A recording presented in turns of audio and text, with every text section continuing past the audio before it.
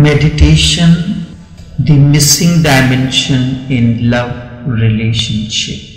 Continuation of the series Male Female Relations. Meditation is indeed the missing dimension in love relationships. Meditation brings inner flowering. With inner flowering comes the fruits of awareness.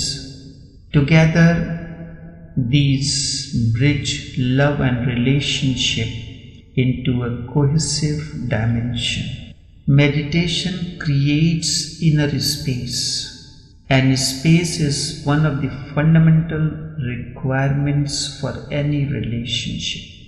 Each individual is a space, and when you encroach upon somebody's space, that creates problems. By meditation, I do not mean what you understand by this word. For you, meditation just remains an empty ritual. Indeed, meditation is inner flowering and the process of sojourning in your inner space. First, it creates the inner space, then allows you to sojourn in that inner space. In the absence both love and relationship remain poles asunder. Generally, there can be harmony between the two. However, if the dimension of meditation blossoms, then there is every possibility that there springs forth harmony.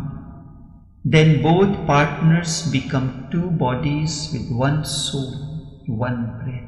Love is something that is new, fresh, and always alive. It has no yesterday and no tomorrow. Love is now and here. That is why it is synonym with God. It is beyond the turmoil of thought and all that is finite. However, the baser minds have defiled its sanctity. Love is the flowering of your heart. It is unseen but realized truth that we are part of this cosmic oneness. Verily, therefore, its color is white. White contains all the colors in its womb. This all inclusiveness is the beauty of white and love. White does not belong to any category of color so is love. It is beyond any category. White therefore contains the whole rainbow. So is the case with love. Love flows out of your innocence. It is only the innocent mind that knows what love is. And the innocent mind can live in the world which is not innocent. Remember, only innocent mind can live in the world that is not innocent, instead very cunning. To find this extraordinary thing which man has sought endlessly through sacrifice, through worship, through relationship, through sex, through every form of pleasure and pain is only possible when thoughts comes to understand itself and comes naturally to an end, the cessation. Thoughts cease. Then love has no opposite. Then love has no conflict. Then love and relationship can create a symphony. You may ask, if I found such a love, what happens to my wife, my children, and the family? They must have security.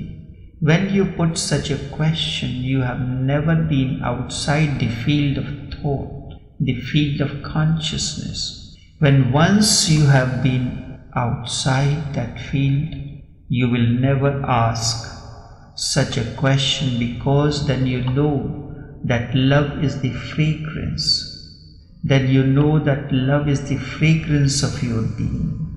It is light wherein there is no thought and therefore no time. Love then attains to cosmic dimension. You may listen to this mesmerized and enchanted, but actually to go beyond thought and time implies going beyond sorrow and all that is ephemeral. You may listen to this mesmerized and enchanted, but actually to go beyond thought and time implies going beyond sorrow and all that is ephemeral. Certainly, awareness is the way that brings eternal as another dimension of love. Then you experience the immortality of love beyond time and space. With this, you can enter into any kind of relationship. But do you know how to come to this extraordinary fountain? Do you know really how to come to this extraordinary fountain? So, what do you do? If you do not know what to do, you do nothing, don't you? Absolutely nothing then inwardly you are absolutely empty, yet utterly silent. Do you understand what that means? It means that now you are not seeking, not wanting, not pursuing. There is no center at all. Then you have found the fountain of love, the center of the being. And once you have found this unfathomable reservoir, you will never remain the same. Only then it is possible that you can relate beyond all finiteness. In the absence, first entering into relationship and then when problems arise, being closed is one of the fundamental problems of love. First, you enter into relationship without knowing, without creating the inner space, without exploring that unfathomable reservoir of love within you. And then, when problems arise, you become closed. And this is one of the fundamental problems of love. Relationship is another dimension. It requires deep understanding because now two diverse spaces are coming together. Relationship is another dimension. It requires deep understanding because now two diverse spaces are coming together. Isn't it so? It requires deep understanding and respect for one another's space. Such understanding and respect can come only through meditation. If meditation has blossomed in you, then you will understand the space that a person is. Every lover has to learn it. Nobody knows it by birth. It comes only slowly and slowly. That too through much pain. But sooner it comes, the better. Each person needs his or her own space. When I say each person, I mean persons beyond age. And we should not interfere in that space. To interfere is very natural for lovers because they start taking the other for granted. They start thinking that they have, that they are no more separate. They start thinking that they are no more separate. They do not think of I and you. Instead, they start thinking of collectivity as we. I and you, the two words are replaced with I. You are that too, but only once in a while. Once in a while, the lovers are we. Otherwise, they always remains I and you. We is a rare phenomenon. It happens when both I and you dissolve into one another, into a collective space. Once in a while, for a few moments, lovers come to that point where the word is meaningful, where you can say we and you mean it. When I and thou disappear into one another and the two boundaries begin to overlap, you enter the cosmic zone of male female relation. I repeat this. When I and thou disappear into each other and the two boundaries begin to overlap, you enter the cosmic zone of male female relation. This comes only when the meditation blossoms in you. But these are rare moments. Thus, these should not be taken for granted. You cannot remain in we realm 24 hours a day. Verily, that is what every lover demands, and that creates unnecessary misery. When you come close once in a while, you become one. But those are rare moments, precious, to be cherished. And you cannot make them a 24 hour thing, can you? No, you cannot make that. If you try, you will destroy them, and the whole beauty will be lost. When that moment is gone, it is gone, and once again you are I and thou. You have your space and she has her space. And one has to be respectful now that other's space should not be in any way interfered with or encroached upon. It should not be trespassed in any case. If you trespasses, you hurt the other and you start destroying the other's individuality. And because the other loves you, she or he will go on tolerating it, but there is a limit to it. But toleration is one thing. It is not something very beautiful. If the other is only tolerating it, then sooner or later the other will take the revenge. The other cannot forgive you and it goes on accumulating. The other can forgive you and it goes on accumulating one day another day, and another day. You have interfered with a thousand and one things, they all pile up. And then one day, suddenly they explode. That is why lovers go on fighting. That fight is because of this constant interference. And when you interfere in her being, she tries to interfere in your being in thousand ways and nobody feels good about it. For example, she is feeling happy and you feel left out, alone, because you are not feeling happy. You will feel as if you have been cheated. You will wonder why is she feeling happy?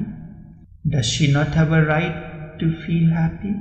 You should both feel happy together, but that is your idea alone. That happens once in a while. But sometimes it happens that she is happy, you are not happy, or you are happy and she is not happy. We have to understand this that one has every right to be happy without the other, even though it hurts. Remember this. We have to understand this that one has every right to be happy without the other, even though it hurts. You would like to participate, but you are not in the mood. If you insist, all that you can do is you can destroy her happiness, or she can destroy yours. In that case, both are losers in that. Because if you destroy her happiness, when you are happy alone, she will destroy your happiness in every possible way. Slowly and slowly, Rather than becoming friends, we turn into enemies. The basic requirement is the other has to be given absolute freedom to be oneself. If she is happy, feel good that she is happy. If you can be happy and participate in her happiness, good. If not, allow her to be happy. If you cannot do that, then leave her alone. If she is sad, if you can participate in her sadness, good. If you cannot participate and you want to sing a song and you are feeling happy, leave her alone. Do not drag her according to you. Leave her to herself. Then slowly and slowly, a great respect arises for each other. That respect becomes the foundation of the temple of love. That respect becomes the foundation of if you have found temple of love if you have created the temple of love if you have experienced your inner space if meditation has blossomed then you can enter into the methodology then you know the methodology how to relate to the other and if the need arises you can enter into relationship otherwise love alone is fulfillment unto itself. Allow the love to blossom in you. Allow to create the inner space within. Experience the reservoir of love, the fountain of love within you, and allow this to overflow in any relationship that you want to relate to any person. Life will transform, attain a new meaning let this be the way. Khalil Gibran in Prophet makes a beautiful statement. Al Mitra comes and inquires from the Master Al Mustafa, Master, what about love and marriage? Al Mustafa speaks, Let there be distances in love and marriage. What does distance mean? Means the inner space of respect for one another's space. Every individual is verily a space, that space that he creates within through meditation. And you have to learn to respect that space that an individual is. Only then you can relate to the other because you have respect for your space and the other will have respect for your space. Then love and relationship are bridged through this harmony, that inner blossom. Only this much for this morning on this another dimension of male female relation as meditation, the missing dimension in love relationship.